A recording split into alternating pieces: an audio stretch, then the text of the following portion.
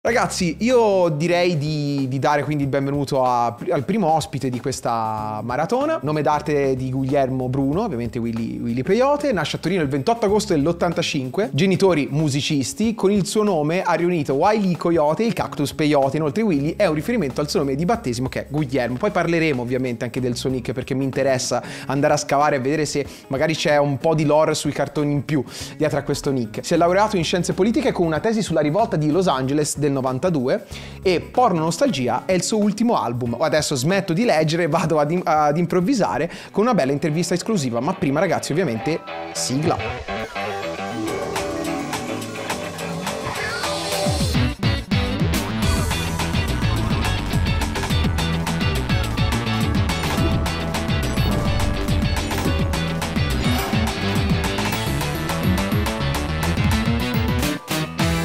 Ciao Willy! Allora, innanzitutto benvenuto e grazie di, di, insomma, di concedermi il tuo tempo di domenica. Non so se sei un, un fan del calcio, insomma, però oggi, oggi è una giornata importante, quindi tutti i talent mi hanno un po' schivato per questa storia del, dell'Inter e del Milan, quindi grazie Ma di cuore. Ma io il Toro, ha già giocato venerdì, quindi non... Ah, ok. Allora, io voglio partire dall'inizio perché, come dicevo nell'introduzione, i tuoi genitori erano entrambi musicisti. Questa cosa sicuramente, credo, insomma, ti è stata ti è stata d'aiuto, penso, nella tua carriera. Hai parlato anche spesso di, di tuo padre, no? Eh, che hai seguito anche in tournée. Mi puoi dire che, insomma, che rapporti sei con i tuoi, con tuo padre e soprattutto in che cosa ti hanno influenzato nelle tue produzioni? Ma guarda, sono fortunatamente in ottimi rapporti. Poi secondo me i rapporti migliorano quando te ne vai di casa, sicuramente i rapporti con i genitori migliorano. In realtà sì, mia, mio padre suonava per gioco, non per professione, però eh, ha girato anche un po' l'Italia. Mia madre invece suonava eh, il pianoforte, ma come moltissime persone in Italia, quindi c'è stato un periodo della mia vita in cui ero l'unico che, che, non suonava in casa, perché anche le mie sorelle più piccole suonavano una al violino e una all'arpa, e quindi ero l'unico. Ah, madonna! in casa. E poi sono l'unico che è rimasto a suonare, però, quindi il paradosso è quello. In realtà, come mi ha influenzato? Ma sicuramente essere andato con lui un paio di volte quando ero adolescente in giro per quelle, per quelle date che faceva fuori da Torino, eh, mi ha sicuramente influenzato perché mi è piaciuto molto l'ambiente, mi è piaciuto tutto quello che si faceva. Anche le parti noiose mi piacevano, nel senso che poi i viaggi in furgone, il soundcheck, io mi occupavo anche di vendere i CD dopo il, dopo il concerto, quindi comunque mi ha aiutato anche a, a sbloccarmi sotto tanti punti di vista nel, nell'interazione con gli altri. Quindi no, è stato quello sicuramente mi ha influenzato perché mi divertiva molto, dalla sala prove a, al, ai viaggi in furgone ho capito che mi piaceva fare quello. E anche durante i tuoi concerti ti piace seguire il making off di un concerto? Cioè ti piace seguire ogni fase oppure deleghi un pochino di più adesso?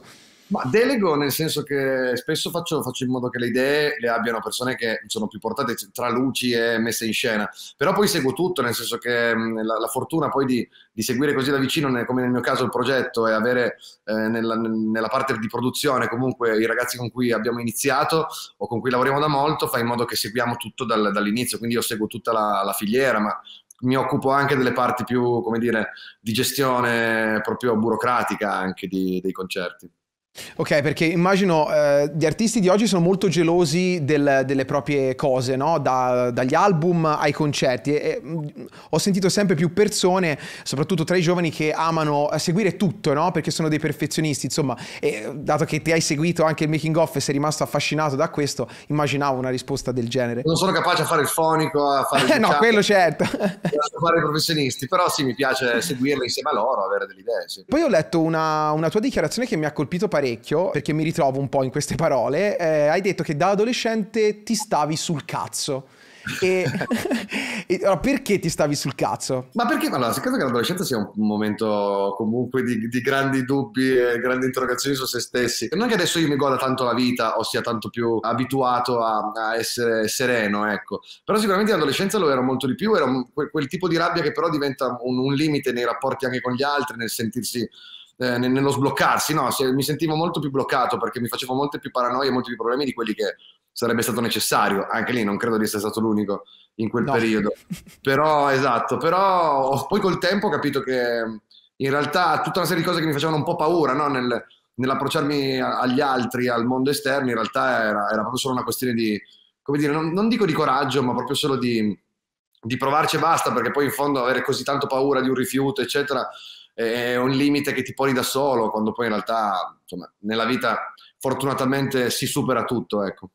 Ma ora invece ti stai ancora sul cazzo oppure è migliorato il tuo rapporto e il rapporto con te stesso? Vado a giorni alterni, devo dirti la verità. In realtà, ma credo che l'idea di starsi un po' sul cazzo, quindi è comunque una forma di perfezionismo, è una forma anche di tenersi sulla, dire, sull'attenti, non, non voglio arrivare al punto di piacermi, ecco, perché penso che sia un po' la morte del, anche dell'arte. Quando un artista si piace moltissimo, eh, diventa più, più, uno che si mette in mostra che non uno che, qualco, che ha qualcosa da raccontare. Almeno ho sempre avuto questo dubbio qua. E quindi a giorni alterni sì, mi sto ancora sul cazzo. Ci sto lavorando però. Quindi sei d'accordo con gli artisti che dicono che un po' di ansia, un po' di paranoia, insomma, aiuta, aiuta a comporre, aiuta a scrivere, aiuta a essere dei buoni artisti?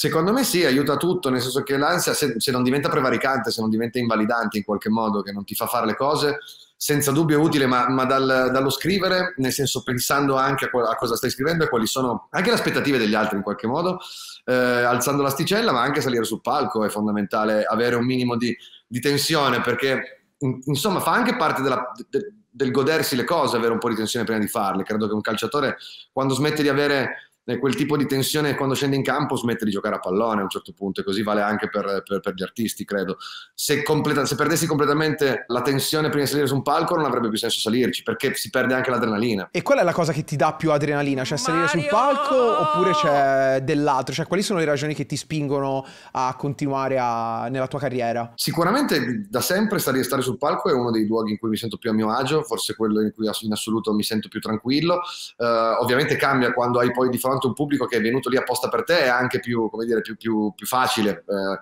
gestirla, ovviamente, perché sai che devi sì confermare l'idea che hanno di te, però comunque il più è fatto se, son già, se sono venuti e hanno pagato un biglietto.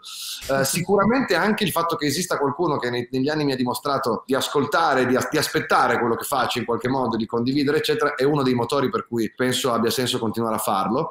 Oltre al fatto, come ti dicevo, che finché penso di avere delle cose da dire, le, penso le dirò. Nel momento in cui ho il dubbio che sto ripetendomi troppo o che non c'è più lo slancio di prima, credo sia il caso di smettere, però ad oggi non è ancora successo. Non è facile, non è facile, eh, quindi è, è, sempre molto bello avere qualcosa da dire, soprattutto qua. A proposito di frustrazioni, paranoie e qualsiasi altra cosa negativa, eh, nella tua carriera, eh, prima della musica ovviamente, hai lavorato anche in un call center. Mi puoi dire che cosa ricordi di quel periodo? Perché non è proprio un lavoro facile. Eh? No, è vero, ti dico, io facevo mm, customer care, quindi comunque era, era inbound e non outbound e questo già cambia moltissimo perché non ero uno di quelli che chiamava le persone eh, cagandogli il cazzo a casa, però ricevevo le chiamate di clienti anche molto spesso arrabbiati perché poi lavoravo per l'Enel e quindi c'erano casi ah, di bollette troppo alte, luci staccate, insomma di contratti non attivi, insomma, casini. Uh, mi ricordo tante cose, in realtà mi ricordo, ho fatto tante mansioni diverse, nel senso che poi ho iniziato al telefono, ma da praticamente subito mi hanno messo a fare il documentale, quindi non ero più al telefono, e poi ho fatto il formatore per lunghi anni, quindi in realtà insegnavo agli altri a fare cose che io non avevo voglia di fare però loro riuscivano a fare bene, quindi tecnica. Forse ero bravo più come formatore che come performer eh, nel, nel, call center. Mi ricordo tante cose, mi ricordo che ad esempio la parte di, eh, di, formazione, quando ho cominciato a fare lezioni agli altri, mi ha insegnato molto anche nell'ambito della scrittura, nel senso che ho imparato a comunicare in un modo più efficace e mi ricordo di aver cambiato anche il modo di, di scrivere, ma anche di, proprio di usare la voce nei pezzi. Quindi quel, quel, un pezzo del lavoro che ho fatto, per quanto brutto e con, eh, che, che, ricordo non con troppo piacere, però in realtà mi è stato molto utile per, um, per, il mio percorso anche artistico, nel senso che proprio dovendo trovare il modo di parlare con persone per ore e ore, con persone che non hanno voglia di starti ad ascoltare, ma in qualche modo devi trovare il canale per arrivargli perché parlare davanti a persone che non ti ascoltano è, dun- è lunga, eh, per sei ore consecutive, è difficile anche per te. E quindi ho trovato dei modi, ho poi applicato questi modi qua nel, nel, nell'uso della voce, nel, nel, come dire certe cose, le ho poi applicate nella musica, quindi e anche grazie al call center se scrivo in un certo modo. Non credevo che tu avessi preso qualcosa di buono dal call center che poi hai messo nella musica. Beh, interessante, non, non, me lo sarei mai aspettato. Figo, molto figo. Quindi ragazzi che lavorate nei call center, magari un giorno potrete sfruttare quello che, che state raccogliendo oggi. Ecco, parliamo un po' del rap. Comunque te non fai, un, secondo me, un rap puro, o meglio, non hai fatto solo quello, hai fatto tante cose, la tua musica è pesantemente influenzata anche da altri generi, ti piace mischiare, cambiare un po' le carte in tavola. Però come sei arrivato al rap, a questo linguaggio e soprattutto quali sono state le tue influenze, i tuoi passaggi? Come sei arrivato a diventare il musicista che sei adesso? Ma guarda, io ho iniziato con il rap, nel senso che poi quel momento che ti dicevo in cui tutta la mia famiglia suonava io no, è perché io ascoltavo il rap e cercavo di, di scrivere le, le, mie barre già dalle medie. Avevo iniziato a scrivere le prime canzoncine, che pessime ovviamente, ma alle medie non è che uno può scrivere Star Way to Heaven. E, e se lo fa è un genio e dategli direttamente il Nobel. No però io mi sono avvicinato prima di tutto al rap. Poi appunto sono stato incentivato un po' da tutta la famiglia a avvicinarmi alla musica suonata e quindi da lì mi sono spostato, ho cominciato a suonare il basso e ho suonato in un gruppo punk, una roba adolescenziale comunque, nel senso ero 15-16 anni il gruppo cover, ma in realtà facevamo anche tanti pezzi nostri e di cui scrivevo musica e testi tendenzialmente. Poi ho incontrato una, un ragazzo alle superiori che faceva le, i beat, che ancora oggi lavora con me, Cava, e da lì in poi ho ricominciato a fare rap, poi ho smesso di nuovo, ho suonato la batteria, perché il rap non portava da nessuna parte in quel momento lì, quindi ho suonato la batteria in un gruppo post-rock, um, sempre qua a Torino. Parallelamente ho continuato a scrivere e fare il rap finché un giorno le cose sono andate un po' meglio, ma io ho mischiato tutto perché mi è sempre piaciuta anche la dimensione di sala prove, la dimensione della band. Come ti dicevo, anche avendola vista da adolescente con, quando andavo con mio padre, mi piaceva proprio il contesto di tanta gente sul palco, i viaggi in furgone, la convivialità che c'è in un tour e poi tanti generi diversi perché poi per fortuna da, fin da piccolo ho ascoltato tante cose diverse alcune me le sono scelte, il rap me lo sono scelto io il, il cantautorato italiano è, è una roba che, che, mi sono scelto io però in casa mia si ascoltava tanto da, da, da, non so, dai Deep Purple a Pino Daniele. Ho avuto la fortuna anche di ascoltare tanta musica diversa e quello sicuramente mi ha aiutato. Non sei uno snob, diciamo, ascolti tutti, sei un onnivoro, via, insomma. Sì, sì, assolutamente. Poi guarda, ascolto tutti, nel senso proprio che tutti i dischi che escono cerco di ascoltarli anche per farmi un'idea di qual è il panorama nel ah. quale ci muoviamo. Cerco anche di essere attento alle novità anche estere, poi mi faccio aiutare anche da chi con me collabora, che la fortuna che ho è di essere circondato da persone tutte con una grande passione per la musica e abbinata a una grande curiosità. Quello fa anche in modo che i dischi siano sempre diversi, che si riesca a, a mettere ogni volta qualcosa di nuovo, anche come ispirazione, come generi. Quindi cerco di, di, di, essere sul pezzo, quello sì. Bravissimo, eh, non molti la pensano come te purtroppo. Eh. Eh, secondo me ogni cosa in una carriera, ora non, non, mi intendo molto di musica non facendola, però sono convinto che in ogni lavoro, ogni influenza dei tuoi colleghi, ogni genere possa essere una mano dal cielo se vuoi comporre qualcosa di nuovo, vuoi mischiare i generi, cercare di fare un po' anche di sperimentazione. Ecco, io ora ti incasello, che è un termine un po' brutto, però nel conscious rap, no? Perché comunque te hai sempre fatto uh, del rap, non sempre, però hai sempre parlato della tua società società, del tuo credo politico, insomma, delle tue questioni, ecco, hai sempre guardato la realtà e la realtà l'hai ficcata dentro i testi, che è una cosa che apprezzo sempre, ma in ogni lavoro, anche nei registi o nei fotografi. Per esempio, se ascoltiamo Io non sono razzista, ma ogni anno diventa ancora più attuale, no? Eh, è incredibile. Eh, l'ho riascoltata oggi per l'intervista ed è ancora non è cambiato una sega, è incredibile, ma zero proprio. Per te, quindi la, la musica ha questo scopo, cioè uno scopo divulgativo o la fai anche per far divertire, per far ballare? Cioè, oppure mischi un po' le cose? Cioè, eh, vuoi entrare nel dibattito pubblico oppure ci finisci un po' per caso? Ma io allora, sono cresciuto ascoltando musica che comunque era, se non schierata politicamente, sicuramente attenta a temi anche sociali, civili. Eh, un po' il rap nasce anche con, quel, con, quel, con, quell'idea lì, per quello che rappresenta come rivalsa anche sociale per um, una popolazione come gli afroamericani che in America ha sempre subito discriminazioni. C'è la componente poi di musica che invece ascoltavo io, dai Rage Against the Machine ai 99 Posse, ma anche gli stessi Subsonica, Manu Chao, insomma io sono cresciuto in un periodo storico nel quale c'era tanta componente non dico appunto politica, ma sicuramente sociale nella, nella musica. Quindi un po' è anche dovuto alla formazione che ho che, che, ho avuto no? nel, nel, crescere ascoltando certa roba. Anche i cantautori italiani sono sempre stati, non dico schierati, ma appunto eh, attenti al sociale. Io non, non ho mai pensato che però fosse eh, l'unico obiettivo della musica. Si deve combinare col fatto che comunque di intrattenimento si parla, la gente ai concerti vuole anche divertirsi, ma io mi ricordo che ai concerti di questi artisti di cui ti ho fatto i nomi ci si divertiva anche molto, si ballava, si saltava e poi poteva anche succedere che ci fossero dei ragionamenti e delle, delle, qualcosa che ti lasciasse anche dopo il concerto modo di ragionare, quindi io credo si debba fare non, non, in tutti i pezzi, ma si possa fare entrambe le cose. Come far muovere il culo e il cervello insieme si può fare. Bella questa, questa la riutilizzerò sicuramente. E ora voglio parlare del tuo nome, che magari è una domanda ridicola, ma siccome sono un grande fan dei cartoni animati, soprattutto gli anni 20, 30, 40, insomma sono parecchio fissato, la scuola americana mi ha dato tutto, il tuo nome è sicuramente, cioè spicca, ecco, perché è un, una sorta di modifica di Wiley Coyote, poi è arrivato in Italia con Willy, con la Y. Eh, c'è magari qualche hobby di cui non hai mai parlato, cioè segui cartoni, eh, oppure una casualità, insomma, questo, questo nome? No, beh, no, no, ovviamente sono, ero appassionato di cartoni anche fin da piccolo. Oggi ne seguo molti, ne seguo i cartoni per, diciamo per adulti. Sono mm-hmm. un mhm. grandissimo fan di South Park, ad esempio, credo sia una delle serie animate più anche lì è più capaci di divertire e di far riflettere contemporaneamente, quindi mi piace molto anche per quello. Vabbè, anche molti dei nuovi, come dire, da Rick e Morty a um, altre, adesso mi ricordo ce n'è una nuovissima, um, Deep, Deep, State se non sbaglio, che anche quella è interessante e riflette sempre, anche lì ci sono sempre degli spunti spesso di, di riflessione anche satirica e quindi um, ho sempre cercato di fare attenzione anche a quello, sì, ho preso Will, in Italia era Willy Coyote appunto, anche se era Wiley, eh, però noi lo chiamiamo Willy Coyote sì, sì, certo. Io ci ho messo un po' di droga dentro perché faceva ridere. non mi puoi trovare, cioè Zuckerberg fa in modo che se mi cerchi su Facebook non mi trovi più perché proprio perché c'è questo termine nel... Ma dai, ma serio? Arriva il messaggio del stai cercando qualcosa che potrebbe essere relativo all'uso di sostanze stupefacenti, sei sicuro? Quindi devi, devi cliccare due volte che sei sicuro per trovarmi. Mamma mia che palle Bello perché sì, vabbè, uh, South Park poi penso a Bojack Ma penso anche a Prime A tantissime altre uh, serie animate americane Che appunto fanno, fanno, capire al pubblico finalmente Che i cartoni non sono solamente per bambini eh. Beh, interessante C'è qualcosa che ti ha aiutato anche per, per i tuoi testi? Qualche cartone, qualche serie? South Park senza dubbio sì, nel senso che è una delle mie mh, fonti di ispirazione, ci sono anche in passato proprio dei riferimenti eh, molto più chiari.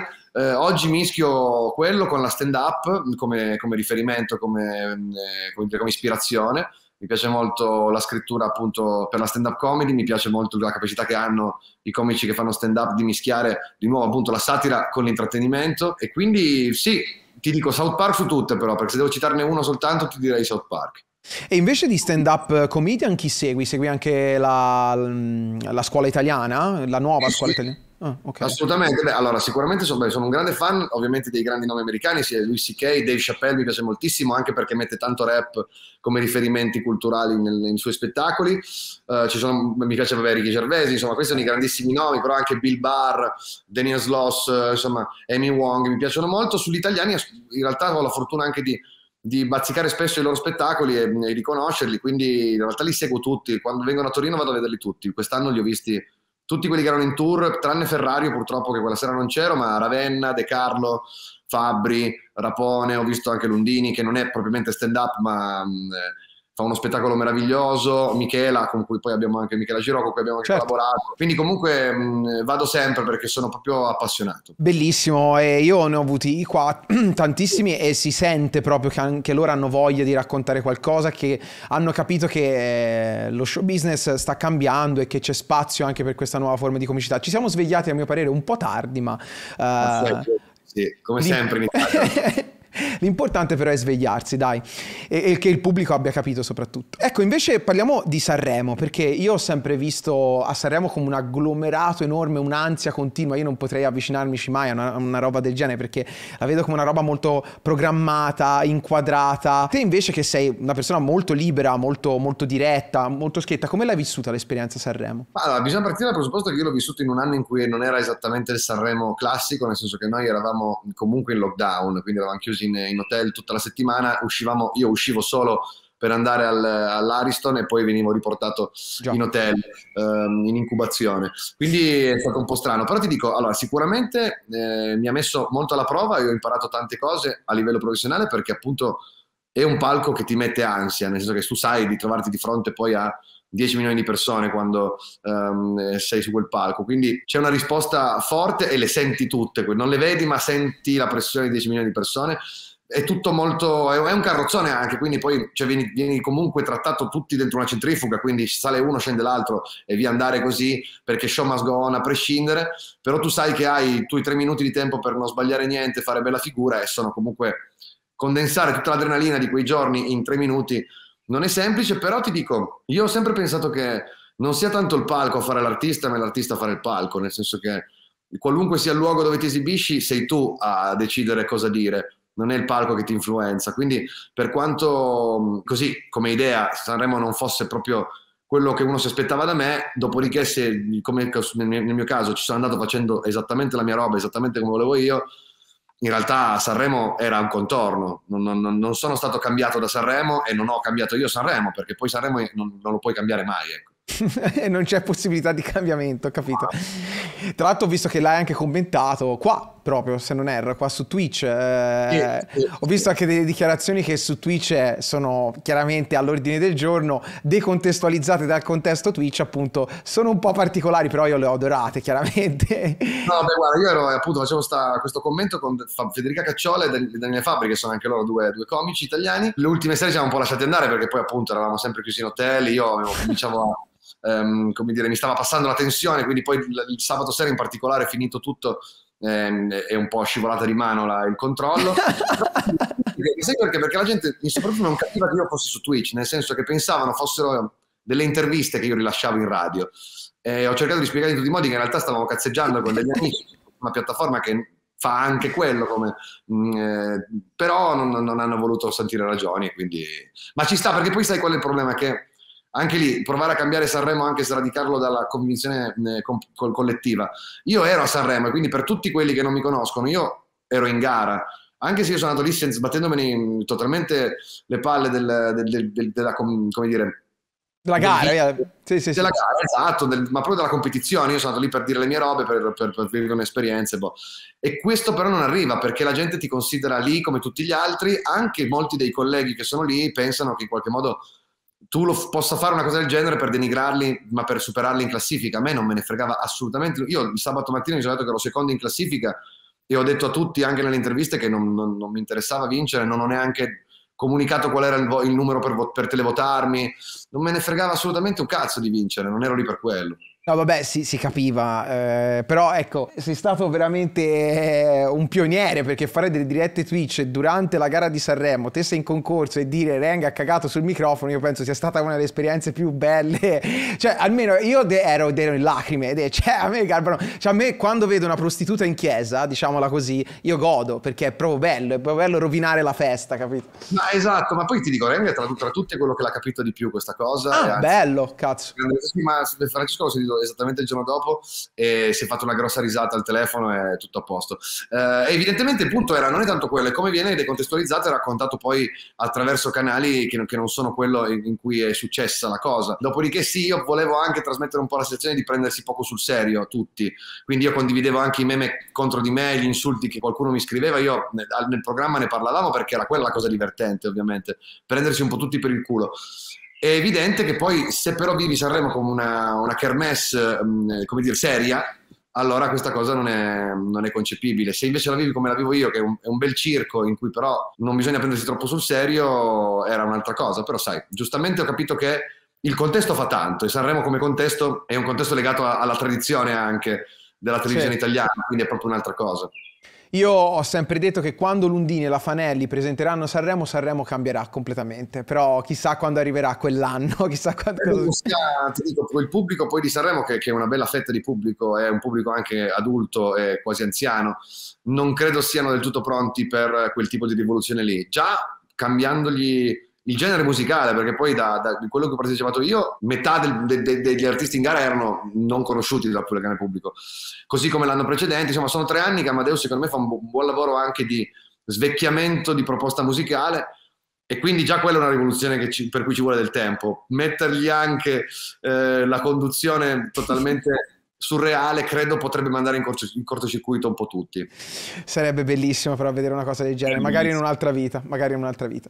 Allora, in Robespierre, a proposito di kermesse, festival, eh, circhi vari, dici di aver rifiutato l'offerta di diventare giudice in un talent. Ti posso chiedere il perché di questa scelta? Sì, guarda, allora, lì nel brano non, non, lo racconto, ma perché mi è successo tempo fa, quindi non è una roba fresca. Lo raccontavo solo nell'ottica di dire, guarda, io faccio delle scelte nella vita, non, però non capisco mai qua, qua, fino a che punto punto risulto credibile e coerente visto da fuori perché spesso poi mi vengono rinfacciate altre scelte. Quindi cercavo solo di dire eh, rega però eh, capiamoci fino a che punto devo, devo dimostrarla sta cosa? Eh, è successo perché ti dico non credo sia il mio posto ma come ti, nel caso di Sanremo non credo che la televisione sia il, il, mezzo di comunicazione che più mi si addice, perché? Per, per, per, per quanto ci sono stato dentro e l'ho vista da vicino, è un mezzo di comunicazione nel quale la verità non paga, eh, o meglio, eh, deve essere molto rassicurante e di conseguenza meglio eh, mandare avanti dei buoni sentimenti un po' finti e ipocriti piuttosto che dire la verità. E siccome invece mi, mi, scappa sempre la verità, certe volte meglio, certe volte peggio come registro e come tono, ma comunque dico sempre la verità, la televisione non è assolutamente il mio luogo perché, perché non è quello che cercano, non è quel tipo di intrattenimento lì. E di conseguenza questo è il motivo per cui ho detto di no, ma perché sono convinto che ci siano persone molto più bravi di me a fare quel, quel, tipo di lavoro ed è giusto che lo facciano loro. Anche te pensi che i talent, a parte rare occasioni, rovinino un po' gli artisti, cioè che facciano diventare i vincitori o i secondi posti, che ne so io, degli artisti usa e getta? Guarda, la statistica purtroppo va in questa direzione, nel senso che di, di, di, di quante edizioni hanno fatto 13, 14 di X Factor, più non so quante di Amici, eccetera, di artisti che sono davvero rimasti poi nel panorama musicale nazionale ce ne sono proprio pochi, quindi la statistica ci dice che non generano artisti che rimangono, generano fenomeni stagionali, nel senso che a parte grandi casi come i Maneskin ad esempio, certo. penso a Mendoni, penso a Noemi, Emma Marrone, ce ne sono ovviamente, ma sono numericamente pochi se pensi che in tre vincono ogni anno per ogni talent. Quindi io penso che sia proprio la struttura del programma, ma vale per tutto. Se tu ogni anno ricostruisci la gara e devi eleggere un nuovo vincitore, quel vincitore lì farà in modo che ci, dimentichi, ci si dimentichi del vincitore dell'anno precedente e così all'infinito. Perché l'importante è avere un nuovo vincitore, non portare avanti un discorso artistico con chi ha vinto l'anno prima. E quindi sono strutturati per, per la novità e non per il, per il restare. Però è proprio, la struttura, cioè è proprio quello il discorso. Il talent è strutturato così. Dovremmo considerarlo un programma televisivo e non qualcosa che aiuta gli artisti a crearsi una carriera, perché è un'altra cosa semplicemente. Sì, a me sembra un po' di reality, no? Alla fine un po' quello sono. Sì, sì, sì, sì, anche Amici soprattutto è più reality che altro, però eh, si cerca un po' l'emozione, le, l'emozione facile, la lacrima, il passato, un po', no? Quello, l'interpretazione, no? Molto spesso è, è, molto teatrale anche, nei, soprattutto nei cantanti, è eccessivamente mh, mm, dimostrano i sentimenti in maniera eccessiva. Ci sono certe cose che sono un po' manieristiche, un po' eh, fuori dal contesto poi della musica che suoni sui palchi, perché poi se fai, invece fai la gavetta e inizi a suonare da, appunto da adolescente sui vari palchi della tua città, poi in Italia, eccetera, il contesto nel quale ti muovi è diverso, come ti poni col pubblico è diverso, insomma, è proprio un altro mondo, non è, non è fatto per creare artisti poi mh, di quel genere. Tra, tolti i casi in cui gli artisti però vanno a un talent e sono già dei fenomeni e quindi poi sono, essendo bravi rimangono. Eh sì, tipo i Maneskin che non hanno manco vinto, cioè però sono riusciti a, a uscire lo stesso. Esatto, loro erano un caso a parte, ma loro hanno fatto anche un po' più di gavetta. Non tutti quelli che arrivano ai talent hanno fatto la stessa gavetta. Ecco. Certo. Parliamo del tuo ultimo album perché appunto come dicevi te hai già anche parzialmente risposto, ci sono delle collaborazioni molto particolari, no? E come Michela Giro appunto e anche Emanuela Fanelli che ho nominato io. E mi puoi dire come mai questa scelta, come è nata questa collaborazione e, e come hai strutturato insomma il tuo ultimo album, perché hai deciso di inserirci anche queste guest? Ma guarda, non è, non è, la prima volta, nel senso che in un album del 2017, che era Sindrome di Tourette, c'era Giorgio Montanini che faceva Già, è vero. è vero sono, come, nasce dal, da, dal discorso che facevamo prima, cioè dalla mia passione per la stand-up, eh, per la satira e la comicità in, in, generale, e la fortuna che ho avuto poi da, prima da fan e poi da amico di conoscere tutte queste persone e avere la possibilità di, di contattarle e tirarle in mezzo. Nel caso di Michela, nella fattispecie, nasce perché lei ha fatto un monologo sul fare schifo alle iene, e, proprio nei giorni in cui io lavoravo al disco, e allora l'ho chiamata e ho detto guarda sto scrivendo un pezzo sullo stesso tema, mi piacerebbe poter prendere delle parti del monologo e inserirle e lei si è, si è, insomma, si è dimostrata molto contenta, abbiamo fatto il pezzo insieme. Nel caso di Manuela invece eh, mi, mi, piace molto il personaggio eh, che, che, che racconta no? anche alla pezza, cioè con questa sua capacità di capovolgere continuamente il punto di vista, prendere in giro se stessa, il pubblico, tutti i vari ruoli che interpreta di volta in volta. E quindi mi piaceva questa idea qua e mi piaceva l'idea di mettere nel disco qualcuno che tra l'altro mi desse torto, nel senso che poi non è l'unico featuring del disco che capovolge ciò che ho detto io nella canzone e dice esattamente il contrario. Cioè, io, lei arriva dopo una canzone che si intitola Il furto della passione, che parla, insomma, il cui claim è la felicità è un furto e io cercavo solo un complice. Lei arriva, fa lo skit successivo alla canzone e chiude dicendo che la felicità, la felicità non è mai un furto, piuttosto è un bel risarcimento. E quindi capovolgendo totalmente il discorso. Lo stesso vale per Samuel, che in un altro pezzo invece è quello a cui io faccio le domande su cosa vuol dire diventare grandi e lui mi risponde che risposte non ce ne sono e l'unica cosa importante è farsi le domande giuste. Quindi mi piaceva l'idea di mettere nel disco eh, figure amiche, perché sono poi persone che conosco molto bene, con cui condivido tanto, che però potessero anche mostrare un punto di vista diverso, se non opposto al mio, perché mi piace l'idea di avere un contraddittorio dentro il disco in un'epoca in cui si fa fatica a parlare con gente che non la pensa come noi, ecco. Eh sì, è sempre più difficile tra l'altro. E, mm, peraltro voglio citare assolutamente lo spazio che hai dato anche a Natalino Balasso perché è stata una figura di riferimento per me sempre e che io ho scoperto grazie alla Jalappas perché ero giova- giovanissimo insomma quando l'ho visto per la prima volta su, in, insomma, in televisione, però ancora oggi, soprattutto sul suo canale YouTube, spara delle bombe atomiche ed è ancora secondo me troppo sottovalutato e andrebbe scoperto, riscoperto e amato perché è veramente un genio per me. Sono d'accordo, lo seguo anche io molto. Mm, su, il film che fa ogni anno mi fa sbellicare anche il discorso alla nazione che fa ogni capodanno. No, no, lo seguo molto perché anche lui è, secondo me, uno dei primi che in Italia ha, ha portato una satira che non è solo fatta di imitazioni, che non è la, la satira di Crozza, per capirci, cioè che sberleff, cioè così con gli sberleffi ai potenti, ma attraverso le imitazioni. Lui è molto più caustico nella sua capacità di affondare il colpo, è molto più vicino alla stand-up eh, in questo, della, della satira a cui siamo abituati, quindi lo trovo comunque un grande, poi è un grande attore, so che a me è capitato anche di vederlo a teatro, ma interpretare ruoli drammatici ed è comunque un grande attore. Ah, e sì, Crozza che hai citato, secondo me ormai ha abbracciato proprio l'infotainment, cioè praticamente commenta le notizie, fa battute e poi mh, mm, intorno ci mette le imitazioni. È un po' un grillo light dei vecchi tempi, ecco, diciamola così, io la vedo così poi. Sì, sì, io ricordo Guzzanti con più piacere quando faceva la satira, pur imitando i personaggi politici famosi, ma lo ricordo un po' più ficcante. Sì. Um, ma le stesse cose che facevano alla, alla Jalapas erano talvolta più, più, profonde. Poi a me Crozza piace perché poi è un professionista sì, eh, sì. fa molto bene i suoi, i suoi, lavori, però ritengo che la satira dovrebbe essere un filo più pungente. Ecco. Sì, eh, tra l'altro eh, di questa cosa Guzzanti ne parla anche in uh, Dov'è Mario, dove appunto affronta i due tipi di comicità, no? C'è quella da cabaret dove ti metti lì e spari tormentoni senza un freno e poi la comicità quella un po' più pungente, quella un po' più intellettuale e ne spiega il conflitto. Secondo me molti comici affrontano affrontano sempre questo scoglio in Italia perché bisogna vendere il tormentone per farsi conoscere, però voglio fare anche le cose come dico io, no? Guzzanti è un po' l'esempio. Quello vale, però vale per tutte le forme artistiche in Italia che devono Vero. raggiungere il pubblico, nel senso che nel rap è uguale, nella musica in generale è uguale, nella letteratura è uguale, nella comicità e nella stand-up c'è il rischio che diventi uguale ora che sta raggiungendo un grande pubblico, perché da genere molto corrosivo per raggiungere il grandissimo pubblico devi un po' edulcorare il tutto, vale appunto per il valso per il rap e vale, vale, varrà anche per la, per la stand-up.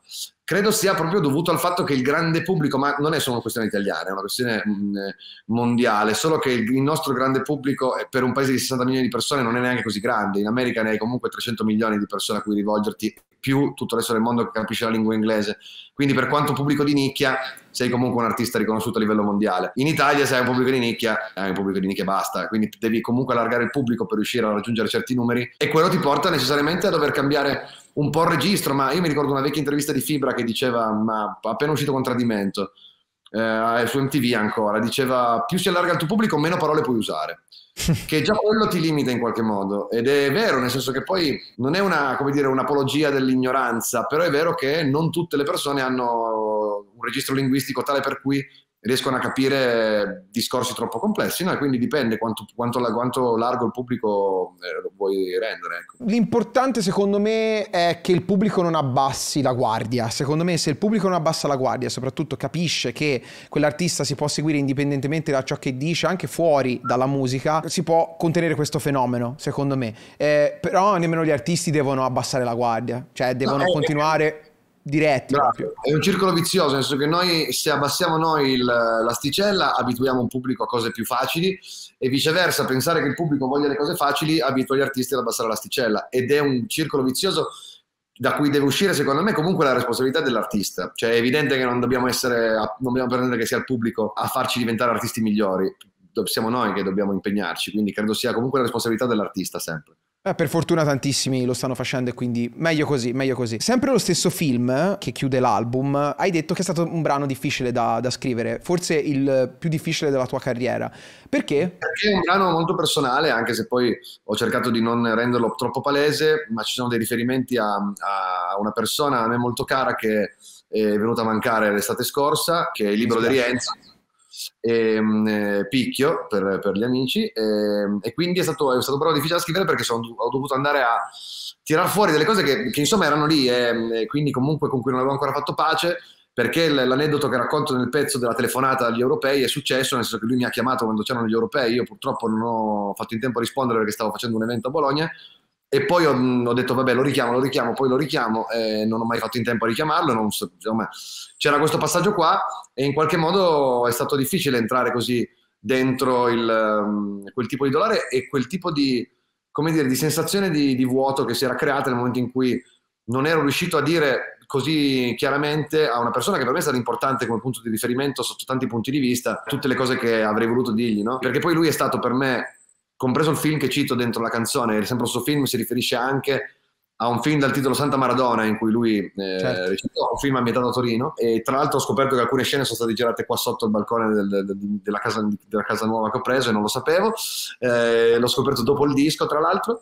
Però la cosa è questa lui con quel film lì mi ha, mi ha un po' dato un punto di riferimento perché io volevo essere proprio il suo personaggio, Bart, di quel film. Poi ho avuto la fortuna, tra una cosa e l'altra, di conoscerlo, di lavorarci insieme perché lui ha diretto anche il, il video della, futura, della, tua futura ex moglie e di diventare amico e confrontarmi con lui sul, sulla sua visione dell'arte ed era una persona con una visione molto figa dell'arte, una, una, un artista che per quanto talentuosissimo, forse il miglior attore della sua generazione, non ha, non ha riscosso la fama è il successo che, che, secondo tutti meritava perché ha fatto anche tante rinunce nella sua carriera, ha rinunciato a tanti film, se non era convinto artisticamente di un progetto non, non lo sposava. È lui che mi ha insegnato che il coraggio vale più del talento, cioè per essere un artista di un certo tipo è più importante essere artisti coraggiosi che non talentuosi non bisogna scendere a compromessi, sì, era veramente un attore alla vecchia maniera, proprio quello, la vecchia scuola, cioè devo, mi deve piacere la sceneggiatura, mi deve piacere il regista, deve andare a un pubblico ben preciso, deve valorizzare la mia performance, e guarda non tutti erano come lui, eh, lo, ce ne sono pochi, pochi, si contano proprio sulle dita di una mano,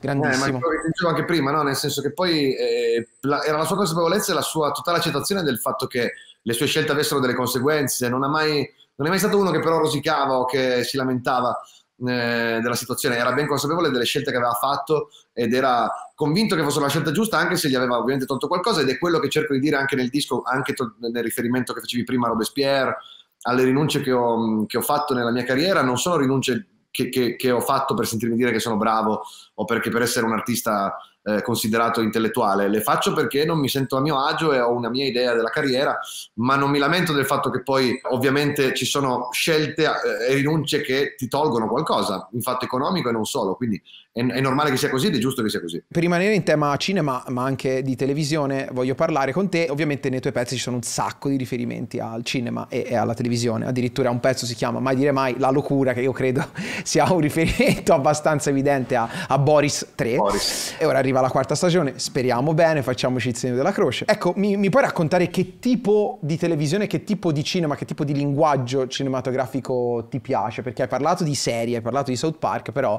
nel cinema tutto un po' cambia, quindi volevo sentire un po' quali sono le tue influenze. No, devo dirti la verità, a parte una serie come Boris che è un cult totale perché era molto innovativa anche per l'epoca in cui è uscita e soprattutto per il panorama italiano. Anch'io sono cresciuto guardando la Jalapas, quindi comunque anche in televisione ho sempre cercato un certo tipo di comicità anche, no? che eh, comunque quando eravamo piccoli noi esisteva ed era molto presente ed era comunque anche uno dei programmi più visti dalla televisione, quindi credo sia anche generazionalmente riconosciuto come un punto di riferimento. Nel cinema Devo dirti, sono, mi piacciono di più i film, oh, direi drammatici, nel senso non sono ah, tanto per i film d'azione, non sono tanto per i film, per le commedie.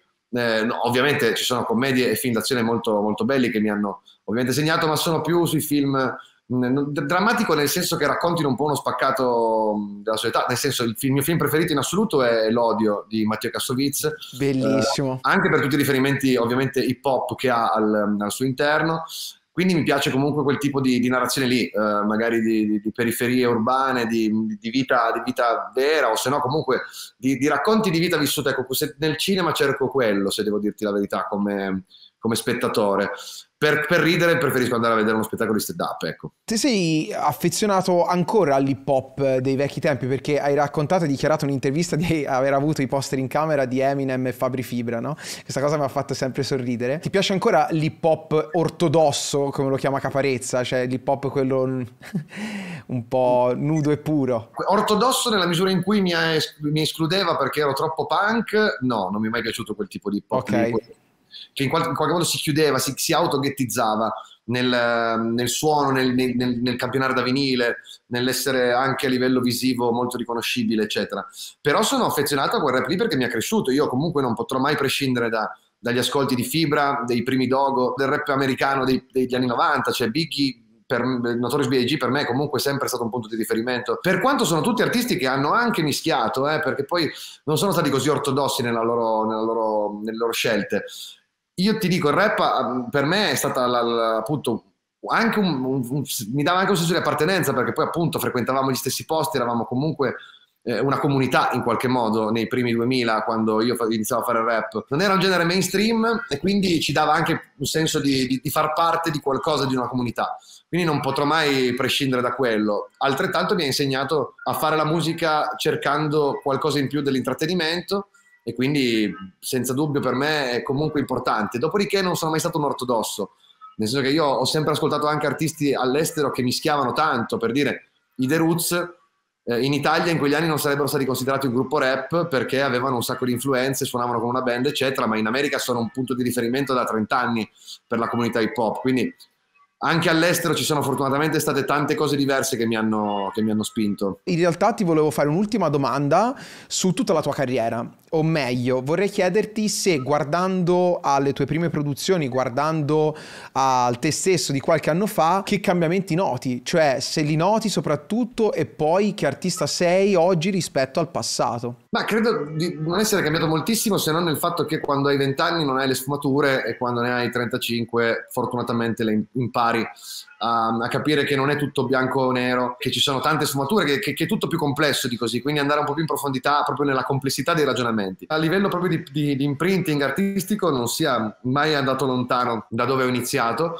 Uh, l'idea è sempre quella di metterci un po' di ironia per raccontare il mondo che ci circonda e le difficoltà che attraverso io e che penso attraversino molti altri nel vivere la vita nel mondo del lavoro, nel, nel rapporto con, ehm, anche con, col mondo della, della musica, de, dell'industria, ma nei rapporti interpersonali. Io cerco semplicemente di, di raccontare delle esperienze da sempre, cercando di metterla sul ridere, però anche cercando di, di, andare a fondo delle questioni che non mi piacciono, di parlare di ciò che non mi piace, anche perché sai, penso che ci sia così tanta offerta di musica presa bene e leggera, nel senso proprio di, di, di approccio buoni, all'amore, e, e tutto bello e va tutto bene, che quindi ci stia anche una proposta alternativa. Poi ognuno di volta in volta sceglie cosa vuole ascoltare, però io mi sento comunque molto vicino al ragazzo che iniziava a fare questo lavoro. Poi ovviamente sono cresciuto come essere umano e questo mi ha sicuramente cambiato, non so, migliorato in certi punti, peggiorato in altri, però credo di essere molto vicino a quello che ero. Ecco. Secondo me s- bisogna non cancellare proprio totalmente tutto quello che si è fatto in passato, bisogna un po' ricordarsi da dove si è venuti per migliorare. Molti invece cancellano, proprio fanno tabula rasa, per esempio, perché non vogliono avere a che fare niente col proprio passato. Quindi ci sta come riflessione. Secondo me ti aiuta a non fare gli stessi sbagli e ti aiuta magari a percorrere strade nuove. Quello è sempre importante, ma sai, sempre fa parte del perfezionismo, cioè eh, non appena finito di- ho finito un disco, io comincio a ragionare su cosa ho sbagliato in quel disco lì. E...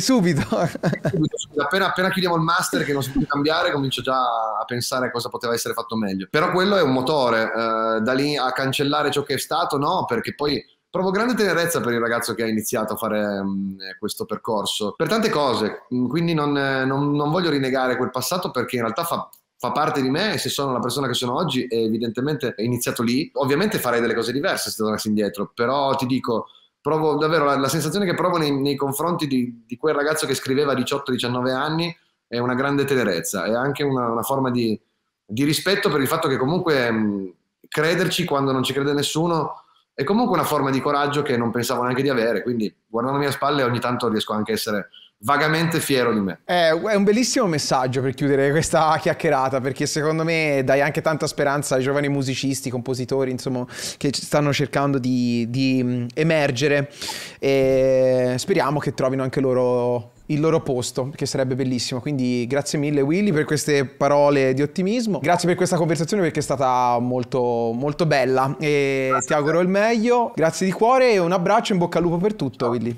Ciao. Buona giornata Grazie. a voi. ciao ciao ciao ciao. ciao.